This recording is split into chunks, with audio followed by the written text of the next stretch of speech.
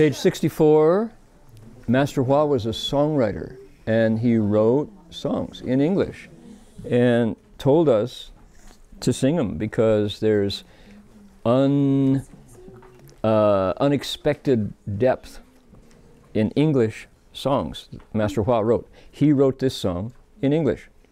And Lani Bauer, the former Heng Yin, Bhikshuni Heng Yin, the former Bhikshuni Heng Yin, um, put, it, put the melody to it. And Shifu really valued these songs, and he told us to sing them a lot because there's good stuff in them. That you wouldn't, it's not just an ordinary old song, it's, there's stuff that, seeds that flower later, you know. So this is one of them.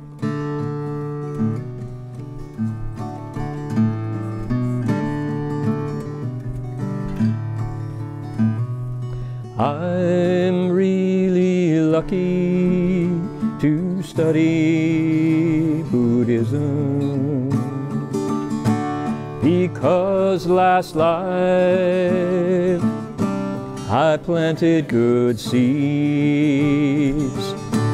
Now in this life I've met good friends and a good knowing one to teach me deep wisdom.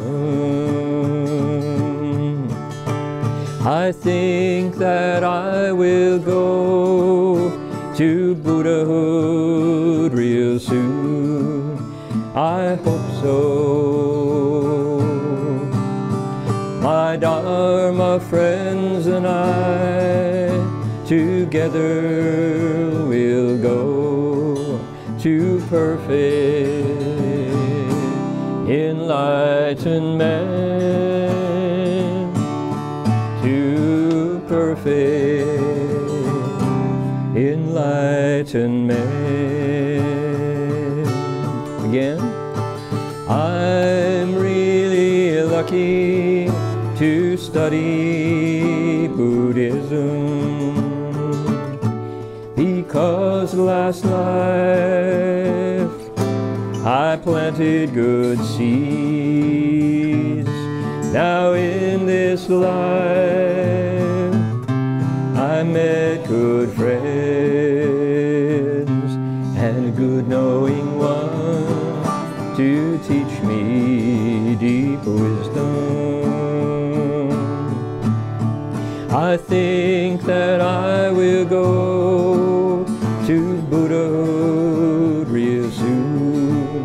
I hope so.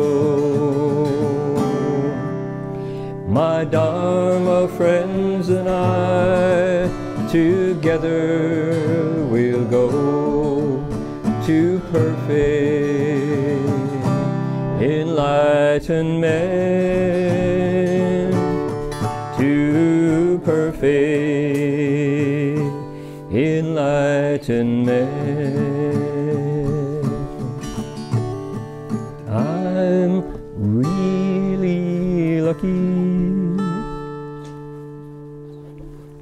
That's interesting, huh? Okay, flip it over. We have haven't done this one at Buddha Root Farm yet, although it's yes. If you can mic on the right hand side. Oh, okay. This next song is we got a lot of like 16 year olds and 16 year old wannabes here. Not yet 16 year olds who will be taking the SAT. And I was thinking, you know, how do you experience the Buddha if you're 16? And uh, especially if you have Chinese parents. Well, the word is a lot of suffering. Cool. For example, if you get a B minus in chemistry, uh oh, B minus, unacceptable. Okay, what if you leave your iPad on the school bus seat? Oh no, suffering. Right? What if you wear a sweater to school and the same sweater shows up on your enemy and it looks better on her? Suffering. And then tomorrow's the SAT, and you want the Buddha to give you 800s or the high 70s too, depending on the test. And my parents want Stanford or MIT. Oh my God. so, what if your parents force you to take piano, but you really want to play electric guitar? And if you do, if you just strike out on your own, they're going to take the car keys away. you don't get to drive anymore. You know. Suffering makes the world so mean. The Buddha must have been 16. So.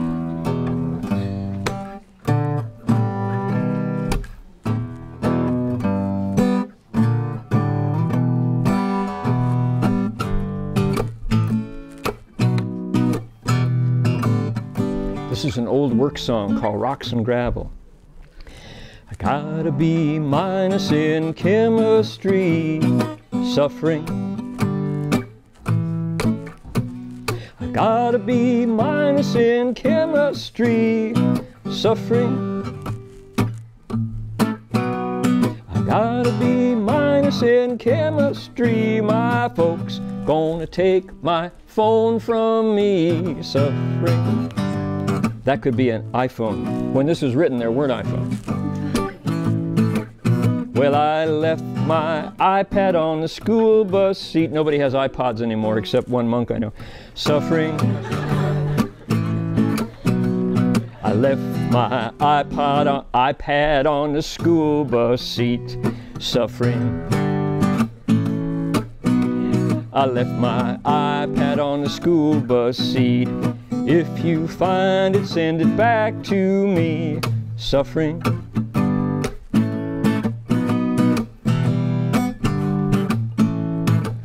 Well, this sweater showed up on my enemy. Suffering. The sweater showed up on my enemy. Suffering. The sweater showed up on my enemy. Well, it looks better on her than it does on me. That's a lot of suffering.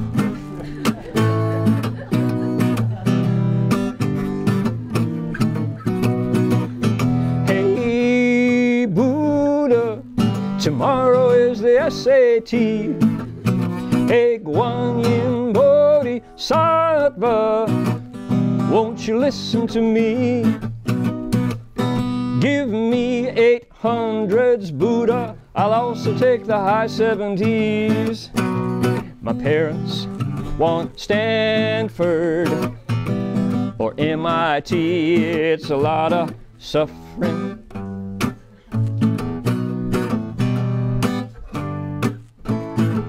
Well, I want to stop piano and start guitar suffering.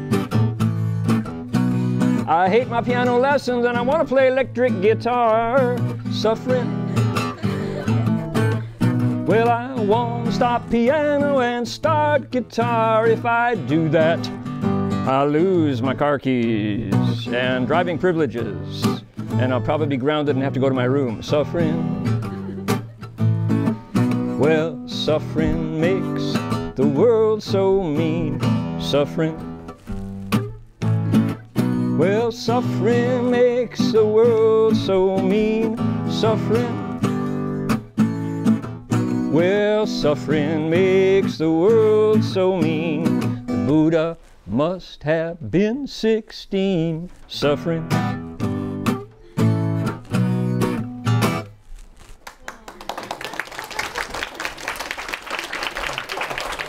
You, you heard it here for the first and probably the last time.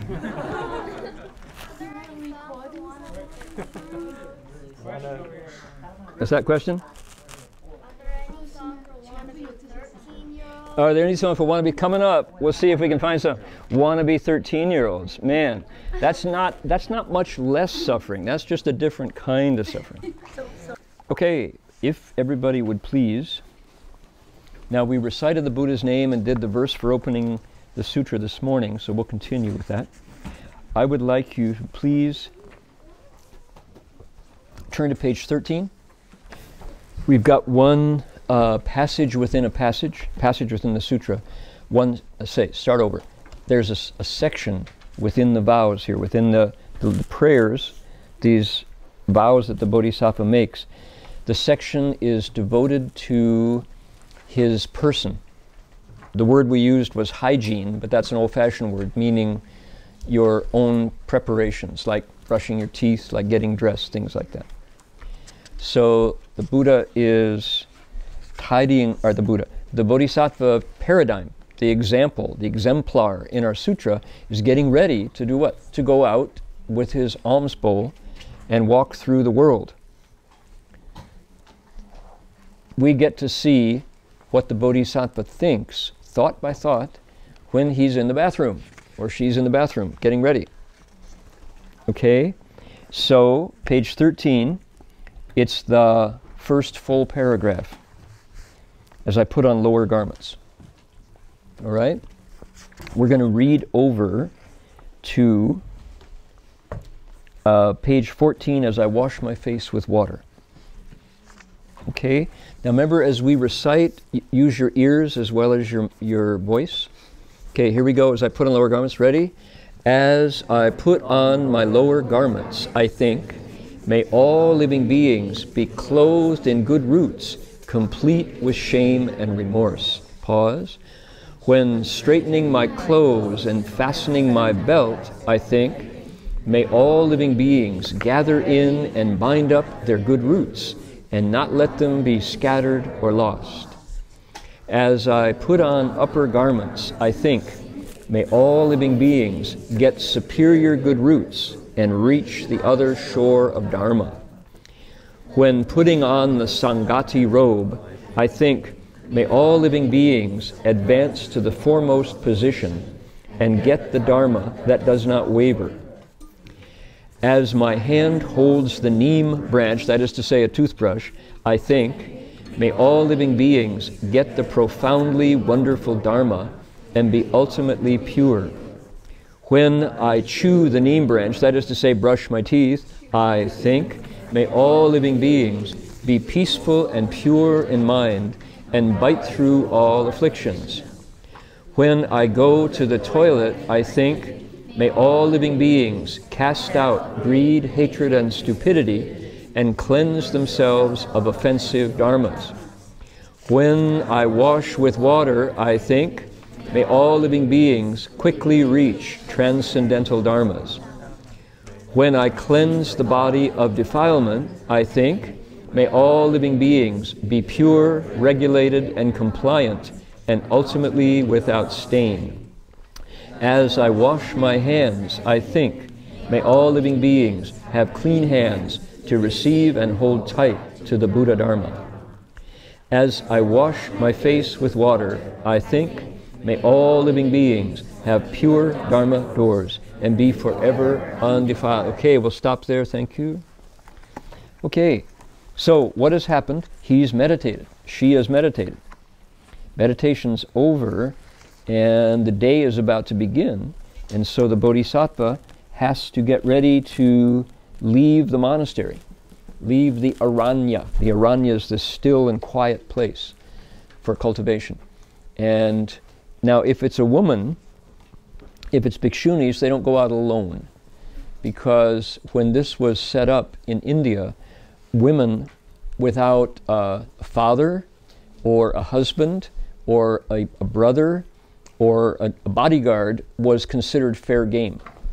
She was available to be attacked and you know kidnapped, basically.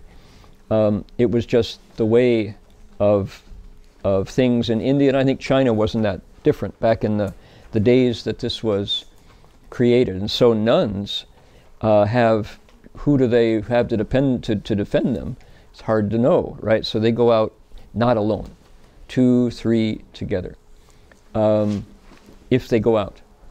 And the monks go out every day because that's where the food comes from, right? So this monk is preparing to go out to get alms, A L M S, alms. The L is silent, right? Alms. And what that means is he's going to show up in people's front yard, sometimes at the back door. If he knows them, he might walk right into the kitchen area, you know, and he's going to have his bowl and he's going to be with the other Dharma brothers, the other monastics, and uh, if things work out well, the lay people will be standing there waiting for him. You have a question? Just keep going. You were just stretching? Okay. So, he's if things are going well, the lay people will have food prepared and they will put a little bit in the first bowl, that monk will walk by. They'll put a little bit in the second bowl, that monk will walk by until they've made offerings to each and every monk in line. Um, this is how the Buddha set it up. And in the Thai tradition and in the Sri Lankan tradition, but more in the Thai tradition, they still do it this way. They still go for alms.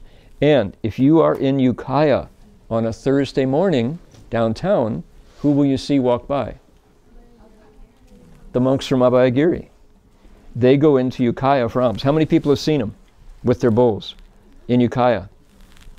Few people have. It's, it's really something to see because here are these monks like looking like they stepped out of medieval scenery. They, they stepped out of some, you know, sketch of ancient times, but they're real. And they're walking along looking very mellow and chill and, and composed. And if people make offerings to them, they're happy. And if people don't make offerings to them, they're happy. They're just fine. And because they've been doing this for years, the, uh, the local merchants, I think there's a bakery that always has something special waiting for them and puts some bread or cupcakes or you know biscuits or something in each bowl as they go by. And uh, I once was telling Ajahn Pasanno, I said, wow, that's just amazing. We have been here 30 years and we've never considered the possibility of coming into Ukiah with, with our bowls, you know. You guys have been here for 10 years and you got it covered. That you're, it's already established. Oh, here come the monks. Let's get our offerings ready, you know. And so Pasanno said, well, that's true, but most of the people lined up to make offerings to us come from the city of 10,000 Buddhas. he said. I was like, okay. So, what does that say about our future as alms mendicants? Shifu said, you know, there will be a time when we'll go back to the Buddha's original intent. He said, probably we'll start inside CTTB, but, you know, why not? Now, we're going to have to get bigger bowls if we do it. I've seen how they've done it because uh, I ran into them, or no, they walked by Black Oaks one morning, and then Megan and I were studying, and then she was like, "Hey, Abhayagiri monks are walking by," and then I was like, "Ooh, I want to make an offering," so I bought a croissant, and then I ran and chased after them. And what happened was that they, after every few blocks, they would have, um, they would dump the food that they have in their bowls Mhm. currently into the van, Into a like a van or a, like a big basket. Yeah. a van, and then they would walk some more blocks, and then that van would go up ahead of them a few blocks, and then park, and then you know whatever food they collect in that next set of blocks. Right. they would put in the- So if you offer them a venti soy latte, they have to like put that in the you know in the truck before. my bag of croissant took up the whole bowl, so. Yeah, you know, somebody comes up, some good-hearted person with a bag of apples. Ah. You know, and they, they can't fit it in the bowl. That's it. That's your lunch. Is a bag of apples. You know, no, you have to. You know, you take the stuff back to the monastery, but the idea is there. The principle is still there of putting food in the bowl. Right? So what, I mean, I'm just curious, since I live in Ukiah, what is the appropriate way to offer something to them? And then, what do I offer? Okay, um, if you if it was a, a monk from the Chinese Mahayana tradition, you'd say, "Venerable Sir, what's the right what's the right thing to offer to you?" Our answer would be anything that you care to offer us that doesn't break our precepts. Keys to a BMW, for example, we'd be happy to accept. You know? So, you know, a new Mac laptop would be, you know. So, it's it's food that and you know before this this could be our the end of our conversation tonight just talking on this topic. It's a big big big topic. And the answer to to Graciela's question is one of the few places where we don't agree with the Theravada. So let me just give you the the conflict. And it's it's a it is a kind of a conflict but it's we've actually had prolonged i won't say arguments but you know pretty sharp exchanges between the theravada monks who say the buddha's principle is take whatever is offered you don't select among offerings that's not the monk's job okay you take whatever is offered so we went back and told Shifu about that, and Shifu said, Well, what if they put dog shit in your bowl? Do you just quietly take it? You know, he said, That's ridiculous. He said, So you get turned by the laity, huh? He said, Your job is to give them wisdom. So, of course, you have to say, Thank you very much. You think that we want meat because it's what you like the best and you want to give the monks the best. That's a good intention. We don't eat meat. What about your killing karma of participating in the slaughtering and the consumption of animals? We do very well on food that has no killing karma in it. Please give us vegetables. You nourish our bodies, and your karmic slate is cleaner. It's not the case that we have to eat food that you yourself rarely eat because you can't afford it. Who does that? The Thai laity. The Thai lay people say, oh, we got to give the monks fish sauce because that's the best food. And do you eat fish sauce mm, once a month? How often do you feed the monks? Every day? So the monks, you know, it would be the job of the monks to say, actually, you know, we don't want your offerings to increase cruelty. So why don't you give us food lower on the food chain that nourishes us better and food that you can afford? That would be wonderful. That's a win win, you know. And we, we say those things, and they say, yeah, but the Buddha in the sutra says you're supposed to take without selecting. And we say, well, could it be that at some point the monks like chose for flavorful food and that allowed them to be silent when the lay people put food in the bowl they didn't they knew wasn't going to be good. And they say yeah but the sutras say we say well we have sutras that say the buddha is quoting the buddha saying any disciple who says that i condone the consumption of meat has ruined his seeds of compassion and is no longer my disciple. You know the lankavatara sutra says that the Shurangama Sutra says that, you know. So it's like we got sutra, for, sutra facing sutra, you know. The battle of the sutras, Pali versus Sanskrit, you know. And so it's one of those few places. But it's really hard to hear these Theravada monks who say, you know, I was a vegetarian for 10 years before I left home. Now they force me to be a meat eater, you know. So we talked to Ajahn Sumedho about it, and he said, ha ha ha. He said, Well, we might really want to do that, but the Thai elders back in Bangkok don't agree. And so we it's important for us to keep our connection with the tradition back home. So we must obey. And we went, eh, no, it's not. You know, this Buddhism in America.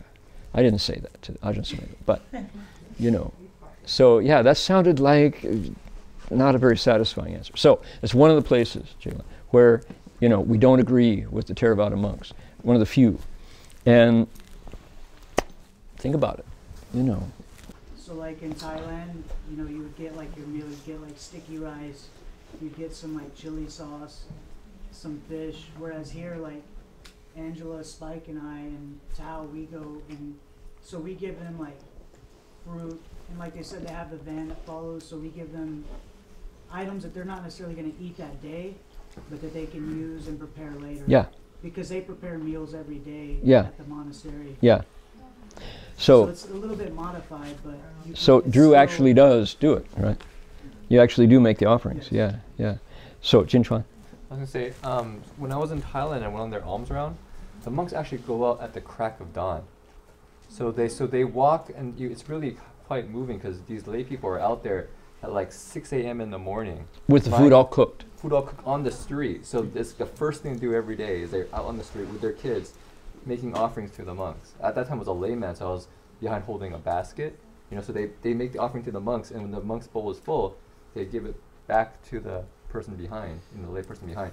And after they finish walking, then in the monastery they prepare it, and they eat their first meal actually around 9:30, 9:30, 10 a.m. And then that's their meal for, for in Thailand in the Ajahn Chah tradition. She actually only also only eat once a day, so eat that one meal, and that's their, their meal for the day. We also went on alms rounds in White Salmon, Washington, right across the river from Portland. You know, a, a, distance from Portland, right on, across the Hood River.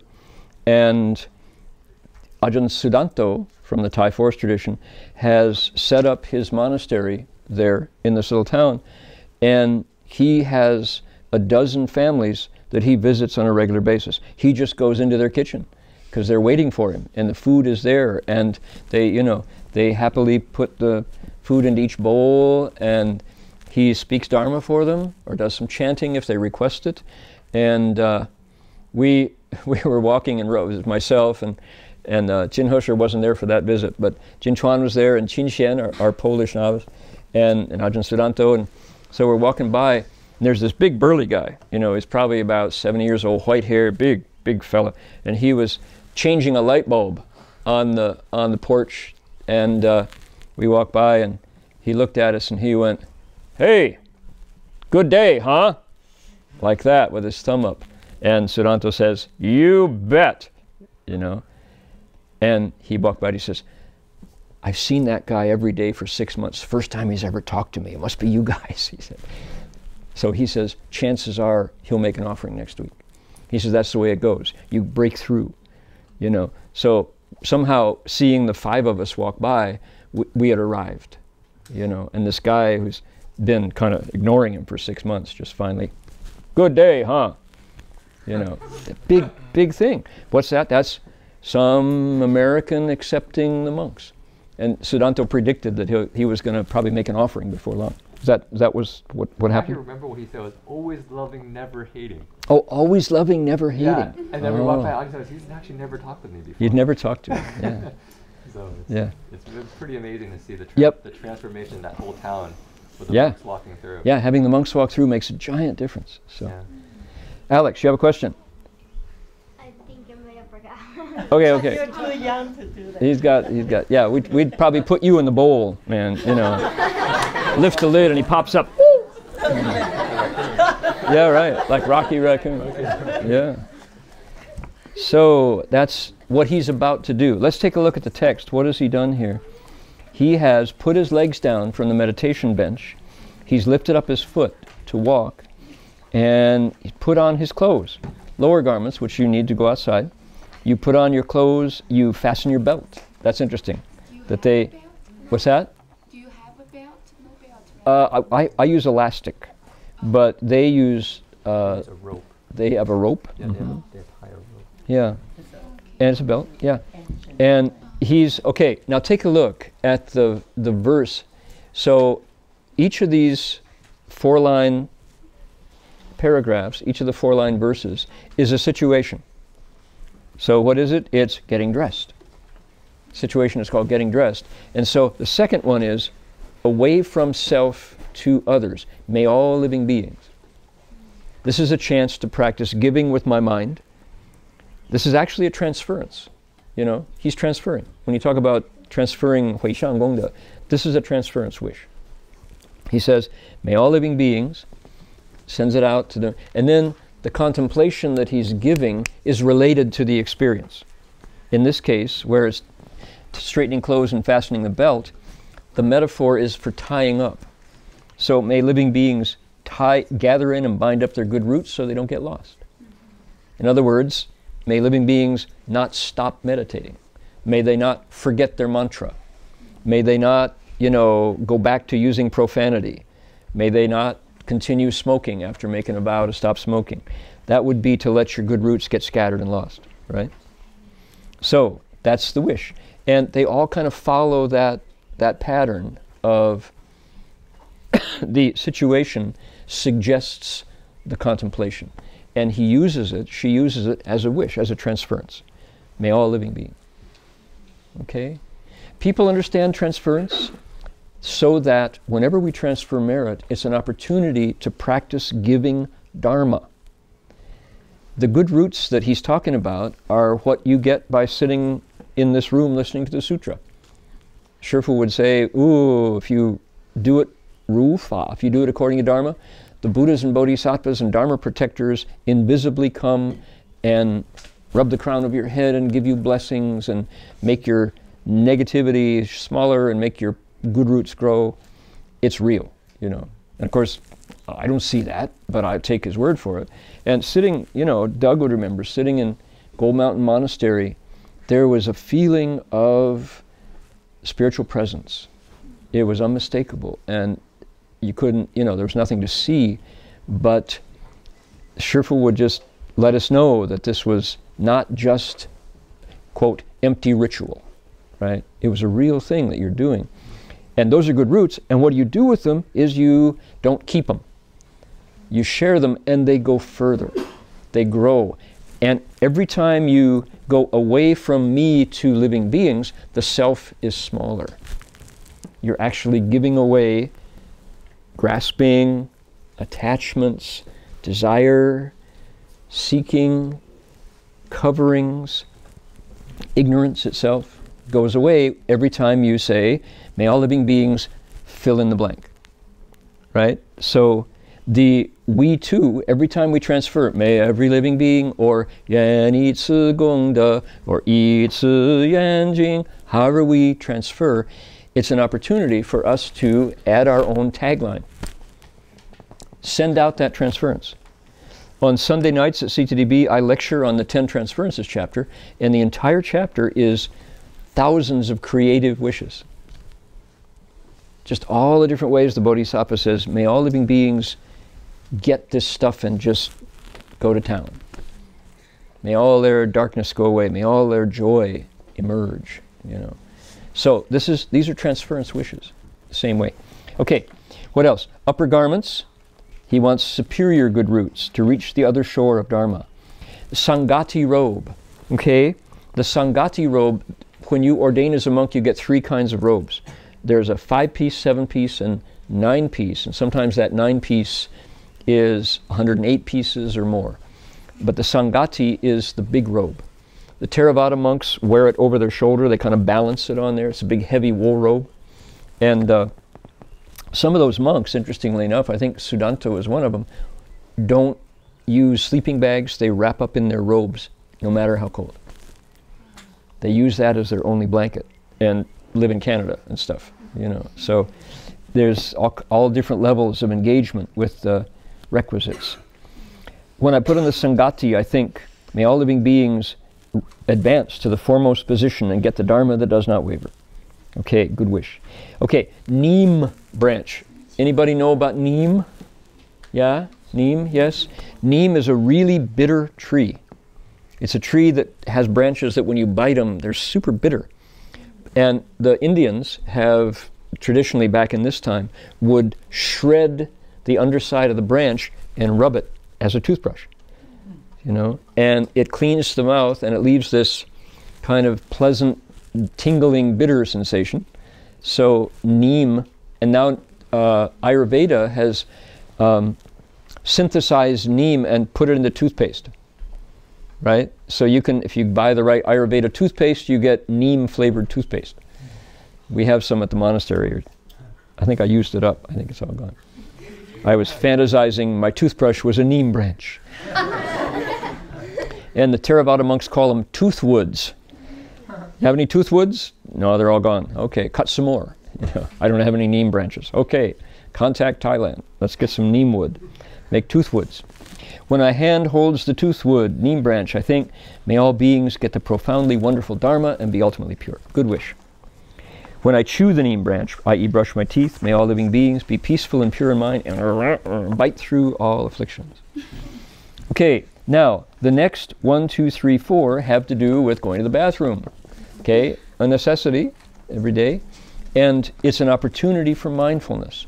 Now, there's a cultural, culturally interesting moment here when, as you go into the toilet, monks and nuns, there's you engage with spirits and ghosts. They say that the toilets are very spiritually active places for beings that like that kind of stench. And according to Shifu's description, there were lots of beings that are. You see, you know, uh, dung beetles who roll piles of dung and stuff. Well, they're invisible beings too. So you go into the, the bathroom, you snap your fingers to alert them that you're coming in, and you recite, May all beings cast out greed, hatred, and stupidity and cleanse themselves of offensive dharmas. Okay, What's the interesting cultural moment? In India, do they use tooth toilet paper? No. What do they use? Water. And their left hand. Correct. Amitabha, you know about that. What's that? You got one in your house, yeah. So if you go into an Indian toilet in a proper home, in a very sanitary, beautiful home, you will find water in the toilet and it's for use to wipe. And people who do it, I mean, for people who grew up on toilet paper, you go, what? Don't you get all wet and what you, ooh, you know? and and for people who are used to water, they say, and you use that paper and you just smear it around. That's not clean. How do you ever get clean? You know. So the advocates of the water method say it's cleaner than toilet paper. They say. Plus, it's way, way, way easier on the plumbing. Right? It does get rusty. Yeah. Okay, now he's got a question. I, I'm going to give you this one, but the next three I'm going to pass you by. So go ahead, go for it. Uh,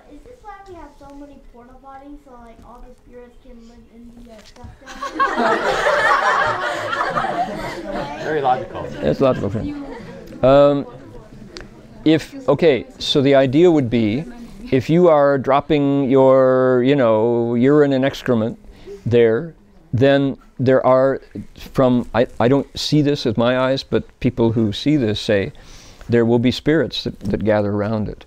So you want to be compassionate to these beings that don't have bodies but have lives. And it can't be, you know, very grand or noble to live in a pit toilet. So you try to reduce their suffering. And the monks go out there, and number one, we acknowledge the existence of beings without bodies who might come to that place. Um, and so you kind of address them. And you first you pray for them, you send out good wishes, hoping to make their suffering less. Okay, then the second one, cleanse the body of defilement, that's for paper users. So there are two different verses here. One for when I cleanse with water and when I cleanse the body of defilement. So monks and nuns who are trained in this way recite every time as they as they perform these necessary functions. Then what do you do? Wash your hands. Lave los manos. You want to wash your hands. I think may all living beings have clean hands to receive and hold of the Buddha Dharma. There you go. Situation, reflection. Right? The reflection is keyed to the situation. What does it do? It keeps the bodhisattva's mind free of false thinking, anger, dissatisfaction, seeking. If your mind is thinking, may I use this moment, grab this opportunity to benefit others, how can you have thoughts full of affliction? You can't. You can't have these competing thoughts at the same time. So over time, this kind of grooves in your habit. And going to the bathroom, like eating, like getting dressed, is an opportunity for spiritual engagement as a giver. You know, this is a moment of generosity, as is every moment. Once you practice mindfulness the way the Avatamsaka Bodhisattva practices it, right? It's a chance to not waste a second that you're not giving, that you're not sharing the goodness. So cultivation is an all day, everywhere thing. Now, notice meditation is one part of it, right? This is portable, this is in motion. You're cultivating in motion all the time. All right? So, the last one. Now it's time to wash your face. He's about ready to go out. Wash my face with water. I think may all beings have pure Dharma doors, Dharma methods, and be forever undefiled. Comments or questions on this?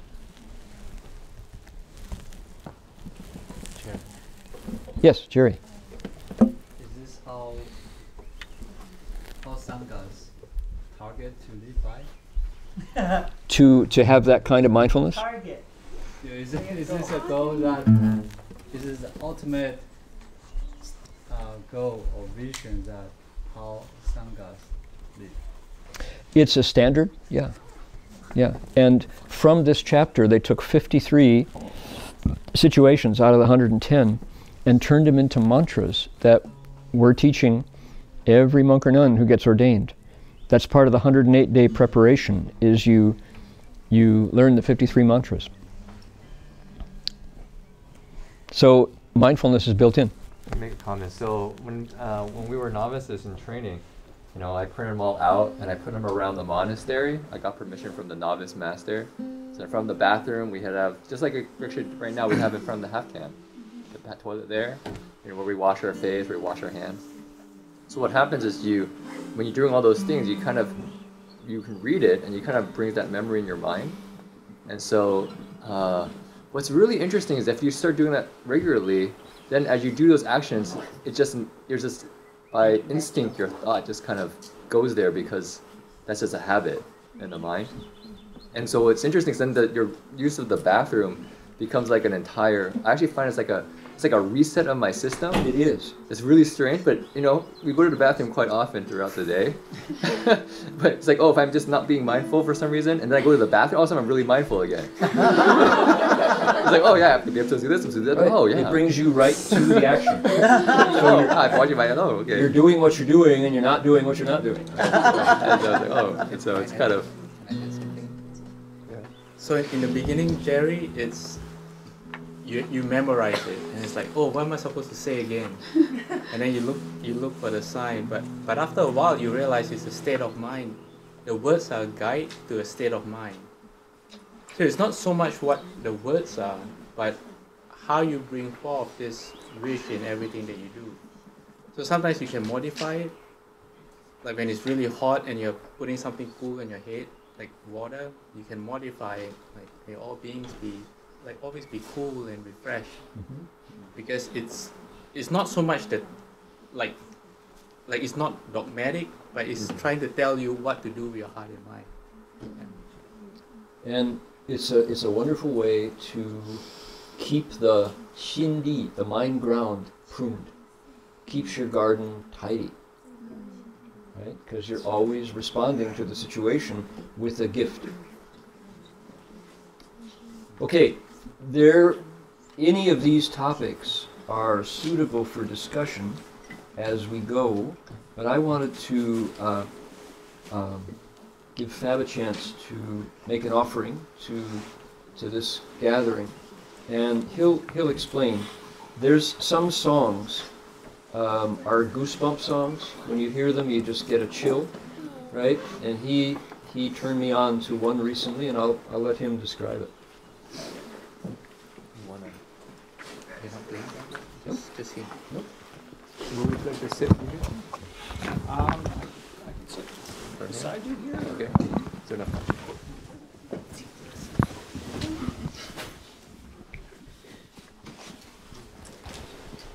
Do you need a cable? Oh, you I got got it.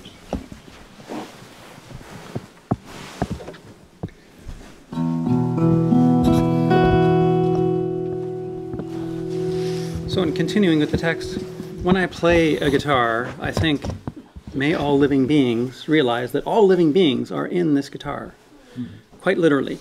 So, uh, as many of you know, I'm also a yoga teacher, and so I'm very interested in what happens with the breath. And so it turns out that somebody else uh, at New York University by the name of Tyler Volk is also very interested in the breath, specifically what happens to our breath when we actually exhale. And when we exhale, of course, we release carbon atoms that used to be pieces of us. So it burns up in metabolism. Uh, we make use of uh, whatever uh, nutrients are available through the bloodstream, and then it just goes out with the exhale. So Tyler Volk decided to figure out how many carbon atoms go out with every breath out. And it turns out that number is a half a billion trillion. A half a billion trillion carbon atoms. That's five followed by 29 zeros.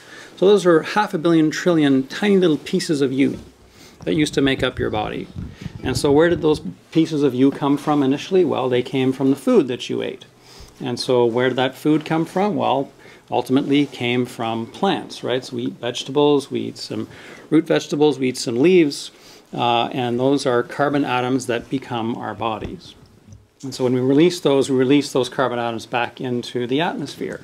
And so Tyler Volk also decided to figure out, well, what happens to these things when we actually exhale? Like, where do I need to go? How far do I need to go to encounter one of those little pieces of me again? So it turns out that you can't go anywhere on Earth. So you pick any place that you want to Antarctica, Africa, the North Pole, you name it. And everywhere that you go, if you take a meter sphere of air, so one yard, let's say, of sphere of air, about this big around you, every sphere of air around you this big contains 50 carbon atoms of each one of your exhales over the last year. 50 carbon atoms from each one of your exhales over the last year. So that's a lot of pieces of you that are in this air right now around us. You- You mean it spreads throughout the world? Spreads throughout the world. So what happens to those? Of course, they get absorbed by trees and by plants. So there's there is no blade of grass on the planet that does not contain thousands of little pieces of you. And so we are temporary concentrations of carbon atoms, and so are all these trees around us. And so we are having this dialogue continually with these trees around us. Okay, so I think that's pretty cool, and that brings that notion of interconnectedness, interpenetration really home for me, and it makes it very, very real. So if I think that I'm just a bunch of carbon atoms that are organized by some kind of intelligence and then energized some way, then and consciousness is a mystery. Nobody has figured out what consciousness is, and so who's to say that these little carbon atoms that used to be me still don't have a little bit of my consciousness in them? So when I send out well wishes that all beings be well and happy, you know, maybe a little bit of that actually goes out there. If I breathe out and I hold that intention, maybe that goes out there. So, uh, of course, these carbon atoms eventually become trees, and the, the trees sometimes get cut down and get put to many purposes, like building this building or building this guitar. So if I look at this top, it came from a spruce tree from uh, this one comes from Germany, but I also use Sitka spruce, and those trees come from around this part of the world. Um, and these trees are generally about four or five hundred years old.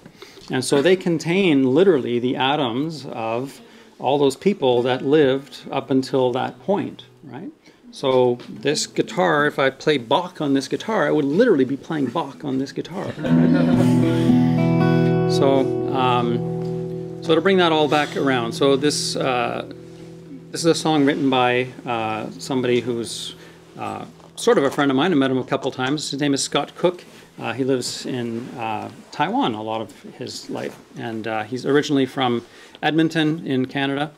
Um, and uh, he's kind of a modern day uh, Pete Seeger, if you will, um, or, or a Woody Guthrie, kind of going around creating folk songs so that we remember. So he's, he sees his job as kind of being a scribe for this time and remembering what this time was like.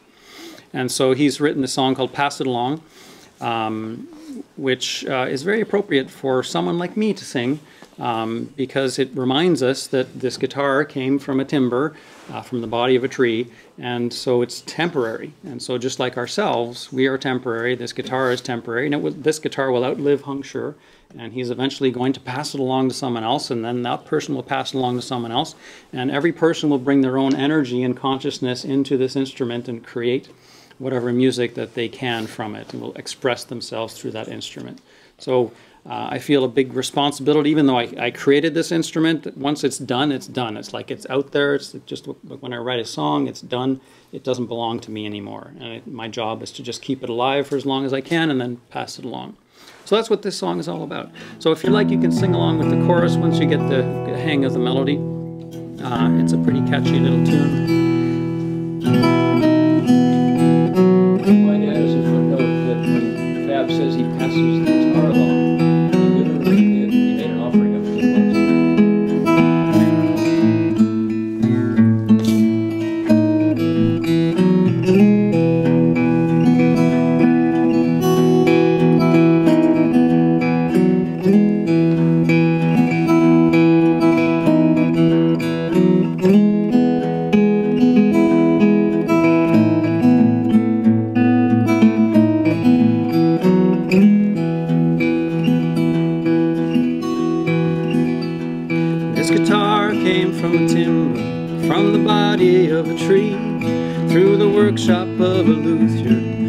it's on loan to me, and it's good company after dinner.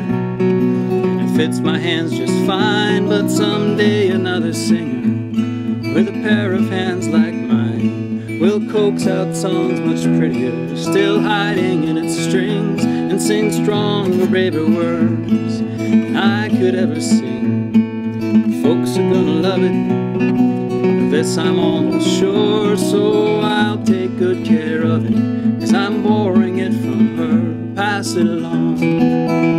Pass it along. Made land in careful hands when we're gone.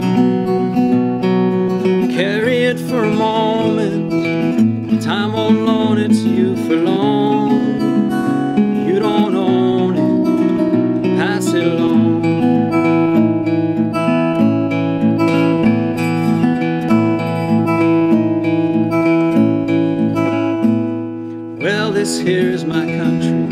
Sometimes it's hard to recognize it, but I count myself lucky to have been born inside it. I'm grateful for the rights others struggled hard to win, and you can be sure I'm gonna fight. They try to take 'em back again. The one everywhere are teachers, though some fell along the way. The words they said still teach us, just like you're teaching me here today. And you may not speak it loud, what you do. And I hope to make you proud, cause I borrowed it from you. Pass it along, pass it along.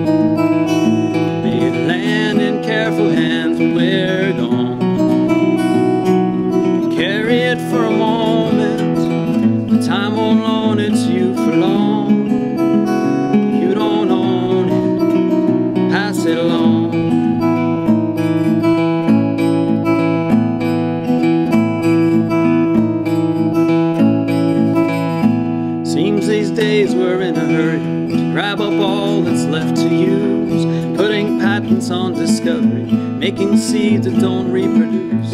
If our vision is so narrow, seeing only and sold, we'll end up like the pharaohs, buried with their gold. We've all pushed this thing along, we've all been guided by our fear, but the river sings a song. We gotta be quieter to hear. It's in every child's face, new and hopeful as a stem. Best be gentle with this place, cause we're borrowing it from them. Pass it along, pass it along.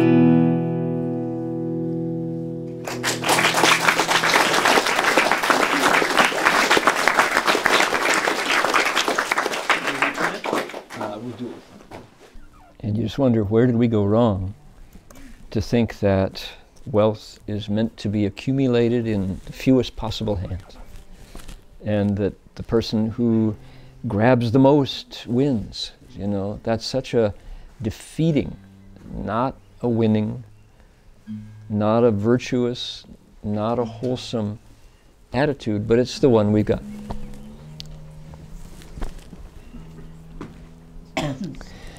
Well, we have 25 minutes left for tonight, and I thought it might be interesting to go through and find out what we all did today. Let's make a list. Let's do a, a day at Buddha Root Farm.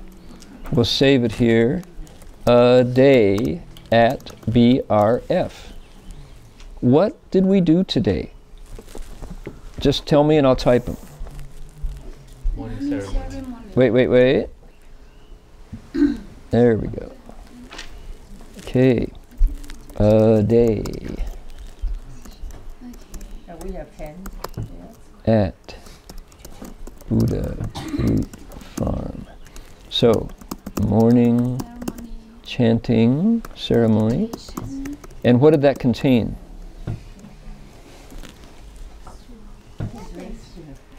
What, what was what was it? Mantras. Shurangama mantras. Okay, what else? Chanting. Chanting of what? Oh, uh. We did that. Chanting of Met, were you there? Oh, well, you wouldn't know then. Merit. A what? Merit. Were you there?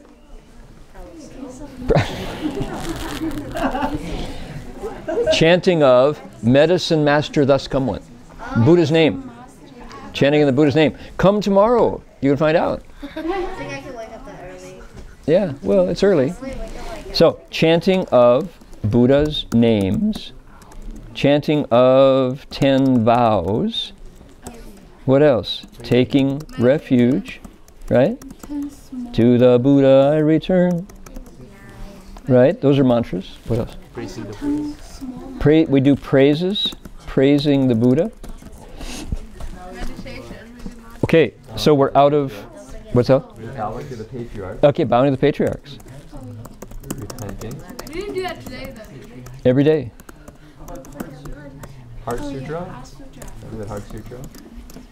I think uh, Omar mentioned there's Weituo Bodhisattva there too. Mhm. He asked me about that. Praise to or praise of. Weituo. Bodhisattva. Uh, we don't actually do Guanyin in the morning. So, okay, that's morning chanting. My goodness, that's one hour. Look at that. We just heard, what do we hear? We heard, what was the, the last one? It had to do with Dharma doors, right? It said, As I wash my face with water, I think may all living beings have pure Dharma doors and be forever undefiled. These are, translate doors as methods. So these are all methods in one hour. We also circumambulate, walk around, walk around the Buddha, s- chanting together. Okay, are we done with morning chanting? Then there is meditation. Amitabha brought that up. Okay, meditation, then what? Community service. Community service. Lecture. Breakfast and Community service. she said. Community service. And that was a lot of different things, right? Including, including, hold on one second, food prep. So you do breakfast and then community work, right? Okay. You eat first. Someone needs to prepare the breakfast. hmm Someone needs to prepare the breakfast. So, Early, no, but that might be the same breakfast, food prep, cleanup. And is anybody chant for breakfast? No? Just go ahead and take it? Okay. So, community service. Then we, uh, Dharma lecture. Okay, and a su- sutra lecture. Okay, let's call it a sutra lecture. Okay, sutra lecture, and there's a chance to ask questions. And you know, this morning was really lively. Boy, 12 people spoke this morning about meditation. That was really good. What's that? I said about full lotus. Yeah, about full lotus. We really, woo. Yeah. So Q and A, which is a Dharma practice, letting your asking. Okay, what's the practice in Q and A? Not being afraid to show you don't know. Yes. Right? And uh, you know, a lot of people like, well, I'm supposed to know this. I'm an old cultivator, so I don't dare. Re-, you know. Or everybody's going to look at me and think you're stupid, so I won't say it. No. Did, did anybody, when they raised their hand, get laughed at? Only if it was a funny joke. It was a funny joke. You did? I just raised my hand, everybody laughed at my name. Everybody laughed at your name. you have a very special name, Amitabha. So, you, you probably don't know that in the Taiwanese Buddhist world, every opportunity during the day is a chance to go Amitabha, which is Chinese Amitabha. So people recite your name all day long. How nice. You know. Amitabha. When you answer the telephone, Amitabha, Amitabha. hang up the telephone. You know. Yeah. Okay, what else? What else? We would hope that you were thinking about it afterwards, thinking about what you heard, you know. So considering the Dharma. Yeah, songs. Songs. Songs. Okay. Songs, sutra lecture. Singing songs. Uh, then we process, process, precess, process. uh, in uh, in process down the hill. No, we have, uh, Oh, oh, oh. exercise. Exercise. Okay. Mindful movement. Mindful movement. Mm. That sounds serious. Got photo section, the picture. Photo Today- check-in. Today photo. Photo check. Yeah. Photo transference. You hand it over. Okay. Mindful movement. Three different kinds: Tai Chi, Kung Fu, Yoga. Yoga. Okay. We recite mindful. We recite while we walk. So Group picture also. recite while pro uh, Why do we call assessing it photo check? down the hill. That's that's actually later, but it is. I think it's saying pho- group photos. Group photo. Is that what that means? No, that's what he wants to say is group photos. Oh, group photo. Okay, there we go. I thought you were talking about giving Jerry your pictures. Okay, No, but we have group photo before reciting down the. correct. We did. Before mine, Find my movement. We're, everybody's giving away. That's good. Okay, recite. And then we have lunch. And lunch, lunch, what's that? Meal off. Meal offering, that's right. We offer, boy, that's a complex moment when we share the food with spiritual beings. Who? There's recitation, there's all kinds of stuff going on. Then look at all the various pieces that come together for one single meal. Right? All the work from buying the food, bringing out the money to buy the food, and, and then selecting, and then carefully, carefully preparing it, making sure there's no spoilage, wastage, you know, parasites or, or rodents coming in. All that stuff that is not easy. We take it for granted. We sit down, the monks sit down, food, you know, lunch, and there's huge amounts of work involved before the food is placed on the table. So, meal offering, then uh, mindful absorption of nutrition. That sounds serious. You bet. We don't mess around. And then we have Dharma. Then we have Dharma talk. Then we have uh, community community service again. Too much community service. Meal closing. Community service. Then uh, from two o'clock, there's uh, classes, There are a few. multiple classes, Recess. multiple classes. Your choice, um, including uh, youth program. Right? We walked over for our two o'clock group, and there were the young people under a tree, under an apple tree. Uh, youth program. Then there was, uh, let's see, then we went up to uh, discussion, oh, meditation, meditation. And then did Pete, did you process up the hill? You did? Yeah. Okay. Hiking meditation. Okay, hiking meditation. There we go.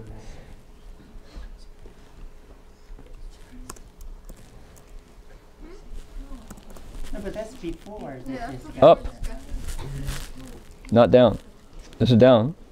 They're saying bef- it goes before the discussion. Oh, discuss this further. There we go. Wait, isn't that your one one oh one? That was So that's have- multiple so we- so classes. multiple classes Should we like you know We are talking Dharma? the ones here. Is it Dharma 101? 101 is what it's called. Because we got What's that? Yeah, that's it. Dharma 101, volunteers, Cookie. Uh, round table, you know, like although it's not really round, and meditation is happening then, The youth, oh yeah, the youth program. and youth program. Right, that's a meditation, yeah. Okay, One in the morning. then there's discussion, No, Then there's- meditation. dinner. No, there's a, well, there's a half hour. There's a second meditation. Half hour, then there's dinner, then there is evening chanting, then there is lecture, What we're doing right and then there is pass out in exhaustion. Parents only. Mindful. Mindful passing out.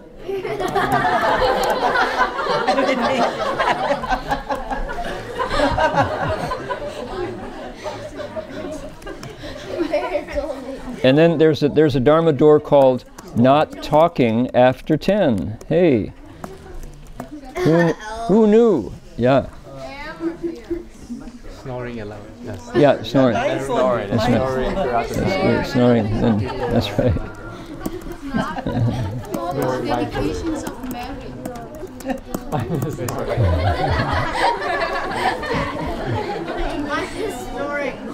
There we go. So, okay, check it out. I mean, that's a day at Buddha Root Farm. Look at this. Too much at the end. Too much work. Whoa. And it includes other things like t shirt distribution. Right? T shirt distribution. And, Agwan. Dharma request. Dharma request. We don't do. We didn't do it today, but it's there. Okay. Somebody else is Impromptu puppet show. Okay. Impromptu puppet show. When did we have that? Leo. Forgot um, transfer the. Transferring the merit. You're absolutely right. Yeah, before the pass out stuff. Yeah. before you pass Before out. we pass out. It's too scary. Said the baby. It's too scary. Thank you, Leo. We got the truck ride. Truck ride. The truck ride. Truck ride. That's not a dark. I guess it is. If you're the driver, yeah, that would be um, uh, shuttle. Truck. Shuttle Yeah, truck shot. reaching the other shore. Boat, boat, boat shuttle. Impromptu puppet show is before lunch, right? Is that when is the impromptu show, puppet show? Anytime. Anytime. This is yeah, Ongoing. ongoing. That's right. Based Yeah. popular. Okay. Okay, just to say, you know, there's a lot. Now, there are things that we don't see, such as the the the van trip into town, What? the van trip into town to buy buy supplies, and there's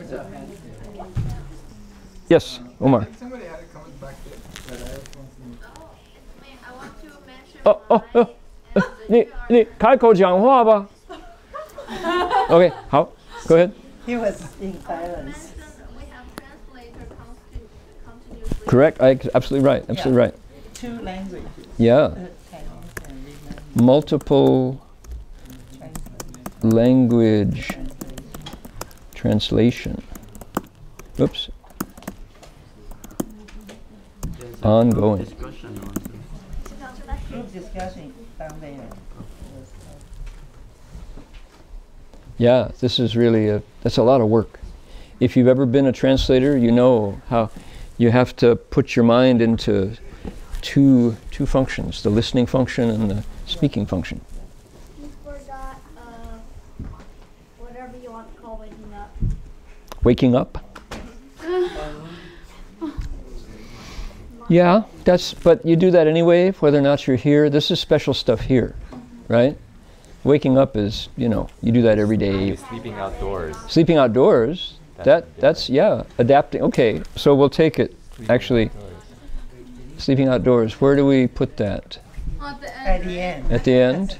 Okay. When it Snoring says after mindless mindless snoring. After mindless snoring. Okay. So before, either way. yeah, sleeping in the bosom of nature. Yes. Um, so I think something something else happened last time that is that was remarkable for me in, as part of the day. What would that be? What happened? Okay, I got permission. So Oh, it is above that. I did though. It's too late now. Okay, It's so- not too late. It hasn't said Say it. Yeah, yeah. Stop this is this is friends. Don't disrespect. To Hey, ten. if he was okay, what? Okay, I can tell it because I. tent camping, which is a lot. That's you know we kind of take that for granted because that's that's what you do. That's what we do. Um, but that's you know now speaking of which, this is we got here Saturday, Saturday night, Sunday night, Monday night, Tuesday night. How are we doing with sleeping outdoors? Is it like okay now? It's not terrifying? What do you think? I see some patient looks over there. Like, not really. What do you think? Is it okay? Yeah? People who've, like, how about Miss New York City? Liz. This is my sixth time here. Your sixth time, that's right. That doesn't count. She's an old pro. That's right. To go to switch from Manhattan to, you know, to Oregon is quite a thing. Leo. Looking at pictures. Yeah, I guess so. Maybe up during evening lecture. Evening lecture. He's thinking. You put after the- Where? under evening lecture. Evening Go down a bit more. Go down. Yeah, lecture. And then uh, photos under Okay. under lecture. Lecture. Where you can watch photos.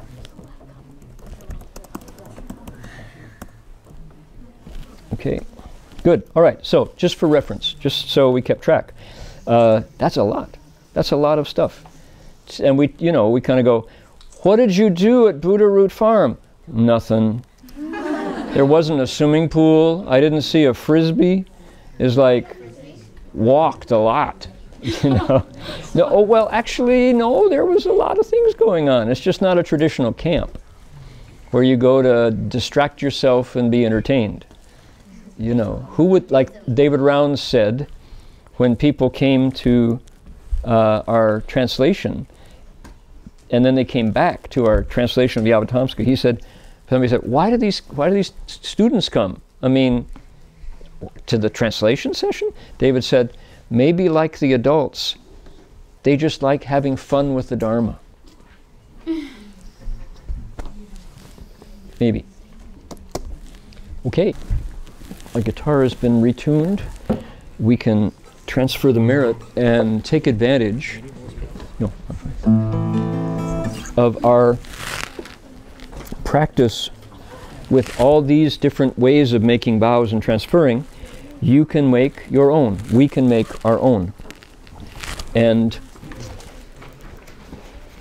the idea is when do you make it? You know, when do you actually do it? Well, you do it kind of as the guitar is going.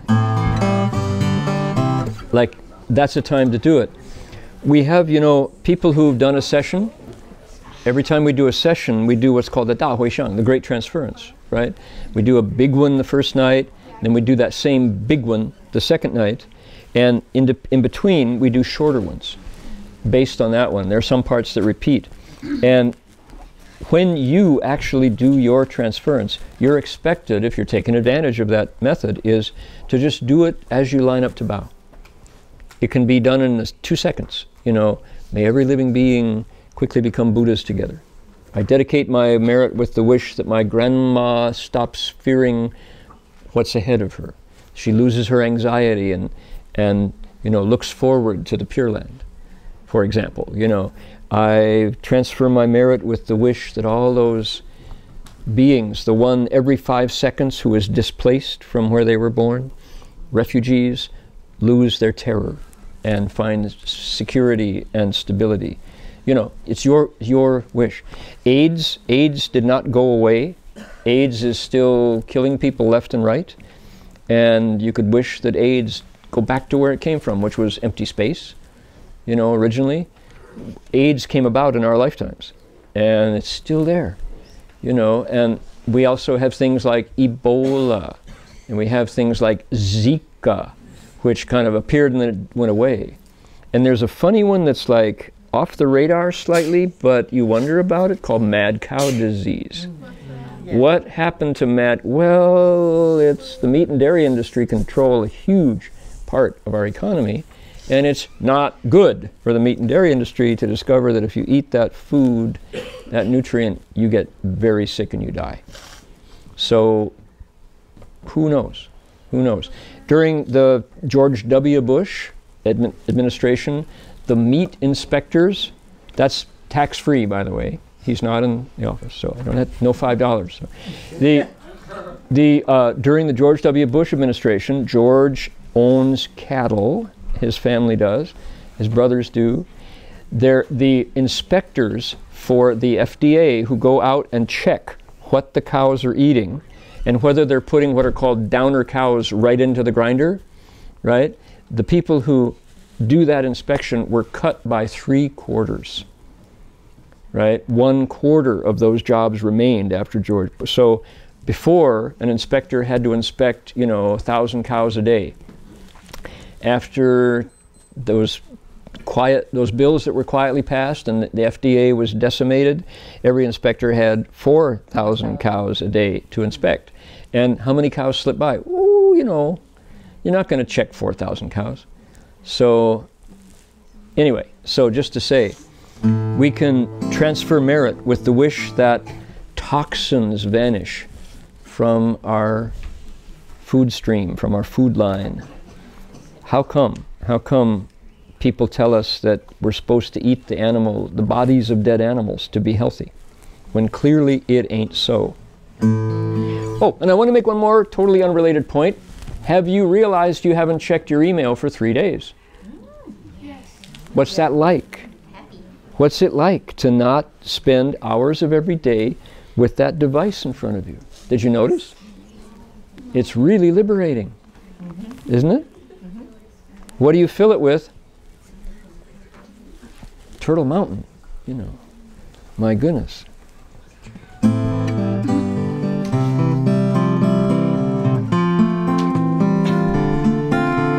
Make that wish as you want to do it.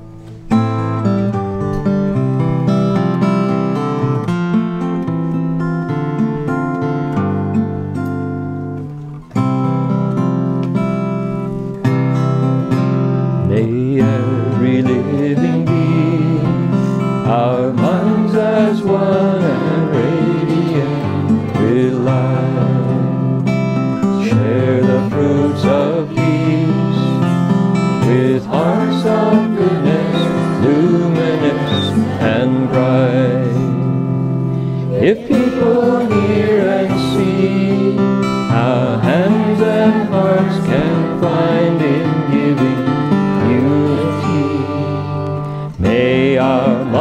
minds